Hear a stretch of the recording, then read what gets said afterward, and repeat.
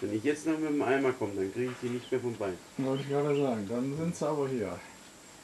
Dann warten die ja heute Abend beim Abendessen auf die Dinge, die da kommen. Nee, dann schlafen die Gott sei Dank. Ja?